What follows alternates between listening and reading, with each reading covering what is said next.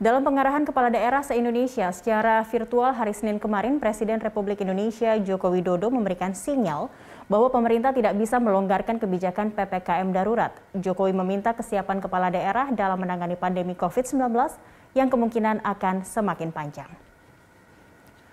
Jokowi menegaskan pelonggaran kebijakan PPKM darurat hanya dapat dilakukan jika kasus penularan COVID-19 sudah terkendali dan semakin rendah kasus dengan gejala berat yang masuk ke rumah sakit.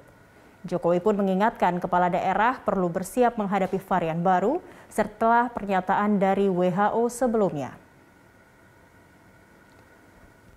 Bayangkan kalau pembatasan ini dilonggarkan,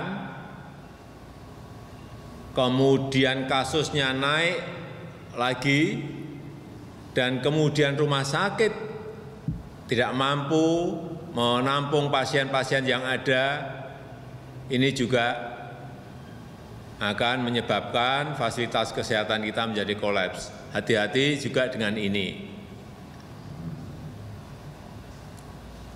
Dan yang paling penting, jika disiplin protokol kesehatan itu bisa dijamin, terutama jaga jarak dan memakai masker. Kuncinya sebetulnya hanya ada dua sekarang ini. Hanya ada dua. Mempercepat vaksinasi, sekali lagi mempercepat vaksinasi. Yang kedua, kedisiplinan protokol kesehatan, utamanya masker. Pakai masker. Oleh sebab itu, saya minta kepada gubernur, bupati, dan wali kota yang didukung oleh